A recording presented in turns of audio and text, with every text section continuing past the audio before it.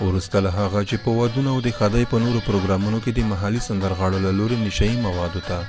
د ځوانانو د هڅونې پر سندرو نیوکې زیاتې شوې سندرغاړو تر ډیره بریده له دا ډول سندرو لاس اخیستی زما په واړه ارمانو د خاورې باڼه ولې دلاور غم ځپلی د خوست یو له محلي سندرغاړو څخه ګڼل کېږي. هغه وايي د داسې سندرو ویل چې ځوانان د مخدراتو څکولو ته هڅوي مناسبې نه دي. دی له ټولو سندرغاړو غوښتنه لري چې د تل لپاره له دې کاره لاس په سر شي. هغه شان لکه څنګه چې د سندرو حق دی اصول دي په هغه شکل سره تاسو خلک خو ته راوبلئ د بدو نه منې کوي د زموږ دا مسولیت دی او چټیات زموږ مسولیت نه دی د دې به دا مې هیله ده چې دوی دا بد الفاظ داسې چې څوک نشي ته هڅوي د پریږدي د دې په ځای خلک خو ته راوبلي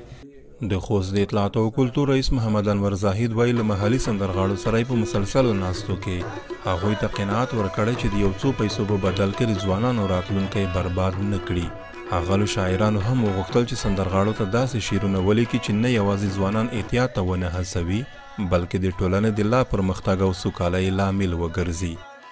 تر څو دوی داسې کنسرټونه اجرا نه کړي چې په هغه کې ځوانان نشه يي موادو ته هڅول کېږي. تر ډېره بریده دوی زموږ سره دغه ژمنه عملي کړې ده او هڅې مو دغه دي تر څو دوی سره مسلسل موږ ناستې ولرو او داسې سندرې دوی نشر نه کړي چې له مخې ځوانان نشهيي موادو ته هڅول کېږي